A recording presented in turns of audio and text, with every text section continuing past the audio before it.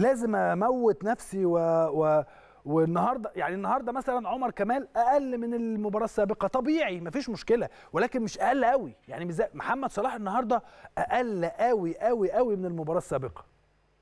كرة مش عارف يوقفها. الملعب واضح إن هو سيء شوية مش عارف يستلم الكورة. ما تفهمش محمد النهارده الحقيقة مش مركز قوي في الماتش يعني. الله يكون في عونه طبعا بعد ما كان من المفترض إن هو يبقى يعني The Best دي الجايزة المفروض اللي تخليه يصل إلى قمة مستواه ويجد هذه العنصرية أنا هسميها عنصرية الحقيقة آه، في عدم اختيار محمد صلاح الأفضل بلاش الأفضل ماشي آه، ليفا يستحق إن هو يكون الأفضل علشان اللي عمله مع فريقه والبطولات اللي خدها مع فريقه ولكن إزاي ما يكونش في التشكيل المثالي يعني لاعب من أفضل ثلاث لاعب يعني رقم ثلاثة في العالم. ما يبقاش أفضل لاعب ما يبقاش قصدي في التشكيل المثالي. حاجات غريبة جدا ال الواحد بيشوفها. مندي أفضل حارس مرمى في العالم لكن في التشكيل المثالي قاعد احتياطي لدوناروما. حاجات الواحد بيشوفها في الاتحاد الدولي تقعد وبعدين إيه ما هو ده اللي موجود وهو ده اللي عندنا واضربوا باكم في الحيط بقى شوفوا عايزين تعملوا إيه. ده هي حتى منطقيا ما تنفعش. يعني أنا عندي ليفاندوفسكي وبعدين ميسي وبعدين محمد صلاح ومحمد صلاح اللي هو بينافس الاثنين دول أو هو رقم ثلاثة مش موجود في التشكيل المثالي. يا سب يعني بجد. فممكن يكون محبط من هذا الأمر أو لكن الماتش اللي جاي مش هيستحمل إن إحنا نكون إن محمد يكون محبط. الحقيقة مش هنستحمل إن مستر آه، كيروش يلعب آه، عبد الله السعيد wing left. أو يعني تحت ال- مش عارف أسميها إيه الحقيقة ماشي. فربنا يكرمنا إن شاء الله والدنيا تمشي والأمور تمشي لغاية لما نشوف مين هنلاعب مين الماتش اللي جاي. هو ده هو ده اللي هنشوفه وهو ده اللي هننتظره. بكرة إن شاء الله أو بعده هيبان هنلعب مع مين. هل هنلعب مع بكرة إن شاء الله هيبان هنلعب مع الجزائر ولا مع غينيا ولا مع كوت ديفوار ولا مع سيراليون بكرة هيبان كل حاجة. وساعتها أعتقد إن كارلوس كيروش آه، سهل إن هو يشوف على الأقل الثلاث مباريات اللي لعبها أي منتخب من هذه المنتخبات ويبني عليه خطته خلال الفترة اللي جاية.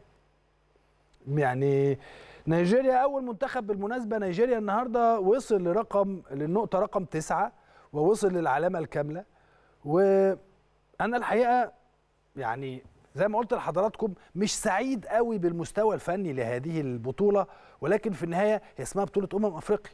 من المفترض بقى إن إحنا من بكرة أو يعني ابتداء من يوم السبت اللي جاي هنقعد نستمتع بفرق دور اللي بت- اللي بتلعب في دور ال 16 هو ده اللي إحنا مستنيينه وهو ده اللي إحنا دايما يعني آه، آه، لعيبة الكرة أو يعني المحللين أو اللي بيشتغلوا في المجال الرياضي في كرة القدم تلاقيهم مستنيين مثل هذه البطولات عشان يتفرجوا على تكتيك جديد. لعيب يظهر بشكل أو بآخر نشوف ال- التكتيك اللي بتلعب اللي بتلعب بيه المنتخبات المختلفة بيبقى إيه؟ المنتخب السنغالي تخيل حضرتك إن المنتخب السنغالي صعد إلى دور ال 16 بهدف من ركله جزاء في الدقيقة 95 ما جابش غيره.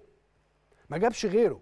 فماشي. خلينا نقول إن مثل هذه الأدوار دور ال 32 ده بيبقى والدور التمهيدي ده بيبقى دور المهم أجمع نقط وأوصل لدور ال 16 طب يلا بقى فرجونا من دور ال 16 آه، هيحصل إيه؟ خلينا نشوف اللي هيحصل في دور ال 16 معظم ال- المنتخبات العربية إن شاء الله هيكون لها دور. يعني أنا متأكد إن المنتخب الجزائري سيصل إلى آه، الدور التالي أو دور ال 16 لأنه يعني برضه لازم يبقى المنتخب الجزائري آه، موجود وهو منتخب قوي جدا ولا يستحق الخروج من هذه البطولة. الحقيقة المنتخب الجزائري. عشان كده خلينا ننتظر ونشوف إيه اللي هيحصل بكرة واللي هيحصل في بقية المباريات مع منتخبنا مع المنتخبات المختلفة. يمكن إن شاء الله ربنا يكرمنا ونشوف بطولة جيدة. نفس طرق اللعب اللعيبة بتكريش مش بتكلم على منتخب مصر بس أنا بتكلم على منتخبات البطولة بالكامل تلاقي اللعيبة الكرة جاية له يعملها كده ويقف. انت بتتفرجوا على ساديو ماني وهو بيلعب؟ هو ده ساديو ماني بتاع ليفربول؟ يعني محمد صلاح على الأقل بيجري وبيد يعني بيجري يمين شوية. مش ده ساديو ماني؟ مش ده مندي حتى بتاع آه، حارس مرمى السنغال ال- أحسن حارس في العالم؟ مش ده آه، حكيمي حتى حكيمي أشرف حكيمي مع إنه جاب جون رائع جدا. حارس آه، أو back يمين منتخب المغرب آه، مش هو ده محمد صلاح مش هو ده مش هم دول مش هم دول خالص طبعا. البيئة مختلفة الملاعب مختلفة جو مختلف كل حاجة مختلفة. ولكن في النهاية إحنا ننتظر هؤلاء النجوم الكبار جدا في كل منتخبات أفريقيا. إن شاء الله إن إحنا نشوفهم في آه، دور ال 16 لأنه الحقيقة آه، نفسنا نتفرج على حاجة جديدة تكتيك جديد كرة بتتلعب. يعني أنا مثلا لما تيجي تقول لي لو اخترت أفضل هدف في هذه البطولة هقول لك هدف منتخب تونس ثالث في آه، موريتانيا. هتقول لي ليه؟ هقول لك هو طبعا مش هينفع نذيعه لأنه ده حقوق حصرية لبين سبورت. لكن أنا بتكلم على الهدف ال one-two ده اللي اتعمل جوه منطقة الجزاء. كرة اتلعبت فوتها ياسين ع- راحت للاعب التاني حطها له مرة تانية حطها جون. لا جون حلو. جون في تكتيك في كرة بتتلعب في كرة تتبسط منها. فهو ده اللي إحنا دايما عايزين نتكلم فيه هو ده اللي إحنا عايزين. لكن بقى مش كل ماتش مستنيين ساديو ماني هيعمل إيه؟ ما نلاقيش ساديو ماني. مستنيين رياض محرز هيعمل إيه؟ ما نلاقيش رياض محرز. مستنيين محمد صلاح هيعمل إيه؟ نلاقيه مش هو. مستنيين آه، مين هيبقى إيه؟ مش هم. طب وبعدين؟